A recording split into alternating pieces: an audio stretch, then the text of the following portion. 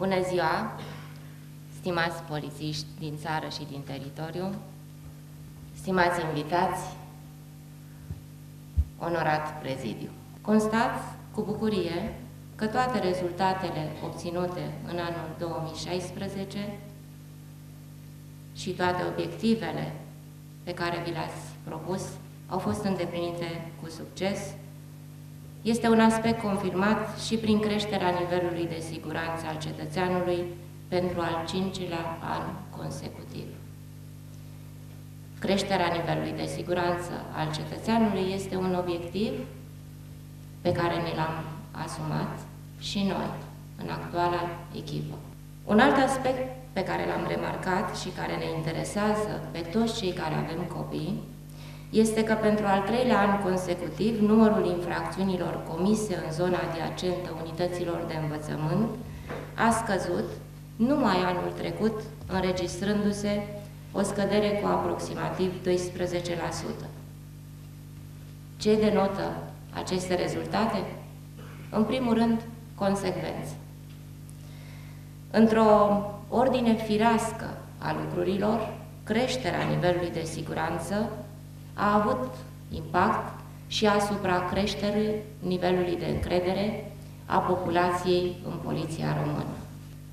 Stimați colegi, apreciez în mod special capacitatea dumneavoastră de adaptare.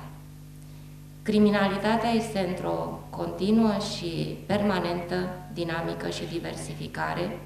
Trăim într-un context internațional și regional diferit, de la an la an, și ne confruntăm cu situații care constituie adevărate provocări, chiar și pentru cei mai buni. Ați colaborat cu parteneri din Statele Unite și din Europa și ați rezolvat împreună cazuri de anvergură, iar colegii dumneavoastră din străinătate, care vă văd și vă apreciază munca, o și recunosc. Vă consideră egalul lor atunci când vine vorba despre profesionalism și implicare. Este un motiv pentru care eu, ca ministru, sunt mândră de rezultatele dumneavoastră. Am remarcat de asemenea că v-ați stabilit mai multe priorități pentru anul 2017. Dintre ele, aș vrea să pun accent pe întărirea autorității polițistului și creșterea fermității în aplicarea legii. Vă acord tot sprijinul meu pentru ca statutul de polițist să fie recunoscut în societate pe măsura riscurilor și a muncii pe care o depuneți în sprijinul comunității. Am avut o discuție și cu sindicatele din poliție și cunosc multe din neajunsurile cu care vă confruntați. Deficitul de personal, salarizarea, programul de lucru, lipsa unor dotări moderne, precum și lipsa unor reglementări legislative care să vă susțină în activitate. Alături de specialiști, mă voi apleca asupra acestor probleme și sunt convinsă că împreună vom găsi soluții să le rezolvăm. Nu mâine, dar în mod sigur avem capacitatea de a stabili, așa cum dumneavoastră aveți capacitatea de a stabili priorități.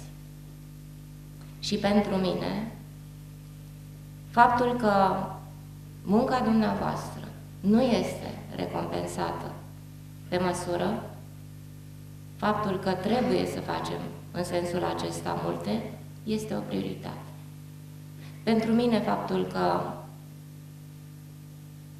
aveți nevoie de susținere în desfășurarea activității dumneavoastră, mă refer la dotare, mă refer la armament, mă refer la echipamentele de intervenție, constituie o prioritate. Este evident că meritați să fiți, să fiți apreciați pentru munca pe care o depuneți și pentru riscurile pe care vi le asumați zilnic. Există o vorbă care spune că respectul nu se impune, ci se câștigă.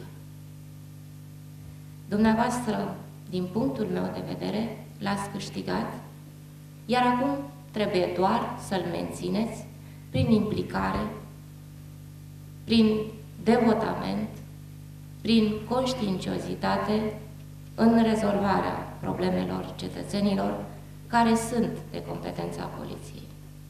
Vă mulțumesc și vă felicit pentru rezultatele înregistrate în anul 2016 și vă doresc mult succes în tot ce v-ați propus. Felicitări!